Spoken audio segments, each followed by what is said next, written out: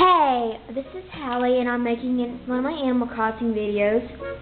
Right now I'm going to show you a cheat called, um, it's the Money Rock. And I'm going to try to find the Money Rock.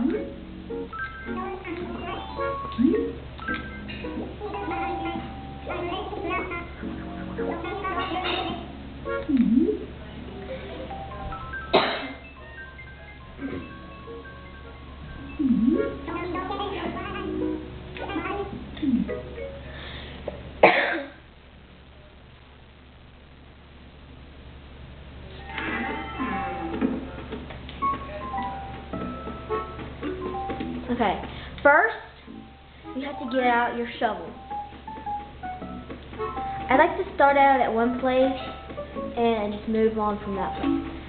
Okay, what you do is, you hit the rock.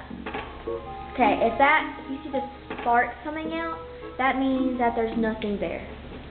Here, I'll have a zoom in on it where you can see it.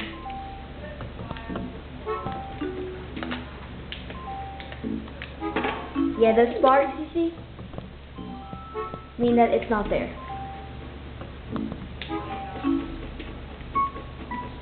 Now I'm gonna get, since that rock didn't work, I'm gonna come try to find another rock. See that money coming out? You have to do it really fast, and you can get up to a thousand bells. Okay, like, see those bags are a thousand, and these can be from a hundred bells to I think it's about like 900 or something like that. Mm-hmm. Never gone to 900. Okay, see, I got a thousand bells, and I got a 200, and I got a 500. That's a, that's pretty cool. Oh wait, no, no, no, there's another one. I think. Yeah, Make sure you always check to make sure you have all of it. Everything. Mm-hmm. And I got a hundred. You can have a wide range of amount.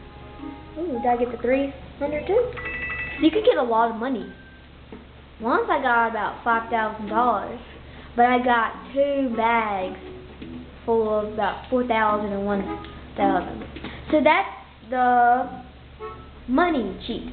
At least my money cheat. Bye.